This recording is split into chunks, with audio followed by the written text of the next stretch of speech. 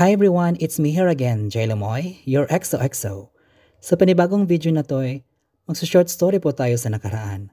Ang sarap maging bata. Parang kailan lang ay nabibilang ako sa mga batang nagsisipag talunan sa dagat at naliligo. Hindi alintan ang init ng araw at babad na katawan. Nakakatuwang isipin ang buhay sa panahon ng pagkabata. Walang problema ang dinadaing. Hindi mo alalahanin ang pera, ang pagkain at ibang iyong naisin sapagkat madalas nakahain na at kusang loob na binibigay ng ating magulang. Masasabi ko na rin na ang kabataan noon ay uliran sa mabuting asal. Bagay na sa kabataan ngayon ay hindi na natin makita o kung meron man, mangila na lang. Lalo na't nakikita natin na pabata ng pabata ang mga taong nasasangkot sa krimen.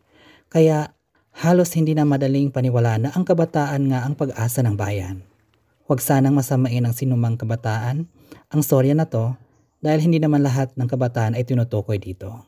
Nais lang ng storya na to na mamulat tayo sa katotohanan dapat nating malaman upang huwag malinlang ng anumang bagay na minsan ay hindi naman natin lubos na nauunawaan.